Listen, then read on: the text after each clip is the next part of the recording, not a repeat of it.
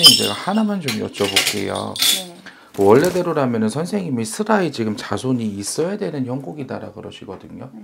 근데 지금 슬아에 자손이 딸이 있으세요? 네. 딸이 지금 몇 살이죠? 열 살이요. 10살이요?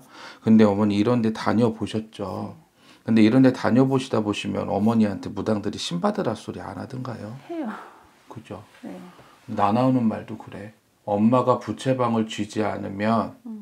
이쁜 딸내미가 작두 위에 올라가겠다, 칼날 위에 서겠다 그래요. 음. 근데 엄마네 친정부리로 해서 김씨가 있나요? 네.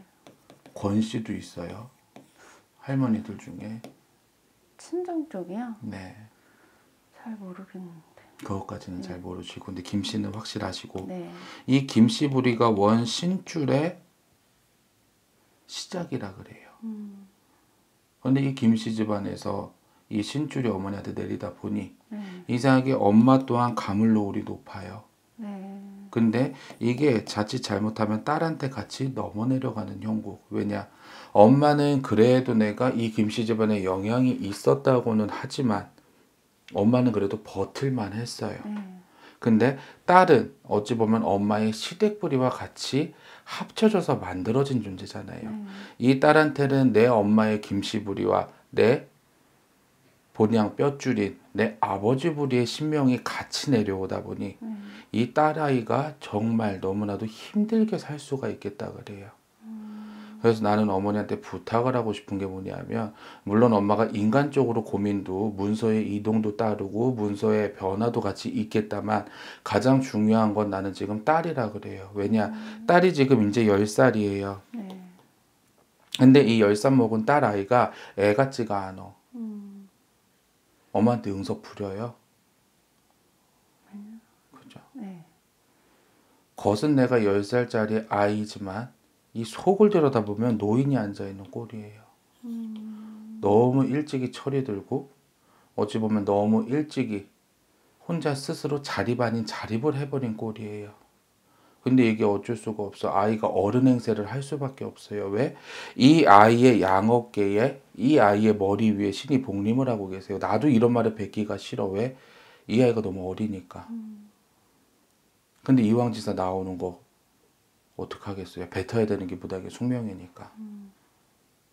저는 어머니가 이 아이를 위해서 빨리 불이라도 끄고 넘쳐오르는 물을 다가오는 홍수를 엄마가 정말 사지욕심 벌려서 좀 막아줬으면 좋겠다 그래요. 그래야지만 딸이 살아.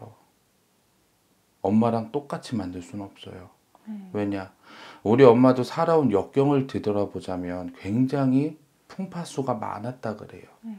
그리고 또 하나 지금 딸이 있다 치면 엄마가 결혼을 해서 남편이 있어야 돼요. 네. 근데 이상하게 남편의 자리는 있으나 형색이 없는 꼴이에요. 네. 이혼하셨어요. 별거 중에. 그죠? 이- 이혼이나 별거나. 어떻게 보면 자리는 있기 때문에 형색이 없는 꼴이에요. 근데 그럴 수밖에 없어요. 대주님은 대주님대로 미안해 개지랄이야. 네.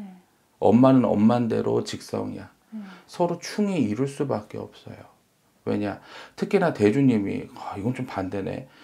대주님이 너무 답정너예요. 음. 그리고 자기의 쪼대로 가야지 그러지 못하면 개지랄 날 텐데. 안 그래요? 아니면 아니라고 하셔도 돼요. 대주가 묻을 거예요. 남편 아. 답정너죠. 음. 네. 자기 쪼대로 못 가면 개지랄 나죠. 네. 그나마 엄마가 엄마니까 그나마 버티고 살았었다 그래. 음. 딸아이 나이로 7살에 풍파수가 따라요. 네. 별거 하신 지 얼마 됐어요? 2년. 그죠? 네. 딱 맞아 떨어지잖아요, 시기가. 이 어린아이한테 풍파는 뭐냐? 부모의 그늘이 없어지는 거. 어쩔 수 없어요. 이 딸아이가 정말 성인이 될 때까지 무고무탈하게 자랄 수 있고 이 아이가 성인이 돼서도 자기의 꿈을 이룰 수 있게끔 만들어 주셔야 돼요. 근데 어머니 혹시 어릴 때라든가 아니면 좀 청소년에서 조금 넘어갈 무렵에 본인이 자해 같은 거 했어요. 어렸을 땐 아니고 그냥 성인이 돼서. 그러니까 네. 딸도 그게 미쳐요. 엄마 따라간대. 미치는 거지 사람이. 이유가 없어. 오만 때만 다 불만이고 오만 때만이 다 싫어질 수가 있어요. 네. 빨리 어머니 조치를 취하세요. 무당들이 엄마한테 구타 소리 많이 할 텐데 이 딸아이 사주 넣으면은 뭐 명딸이 올려라 뭐해라 이런 소리 아니에요? 딸 얘기는 안 하고 저보러 저보러 딸이 더해. 이건 내가 남편분 성신에 있다가 카메라 끄고 내가 말씀을 드릴게요. 네. 왜 그럼 너무 정보가 많이 유출이 되니까 어머니가 좀 노심초사할 수 있어요. 네. 그러니까 그건 내가 카메라 끄고 말씀드릴게요. 어쨌든 엄마 딸아이 살리려면 빨리 뭐라도 하세요. 괜히 내 딸내미 무당 만들지 말고. 음,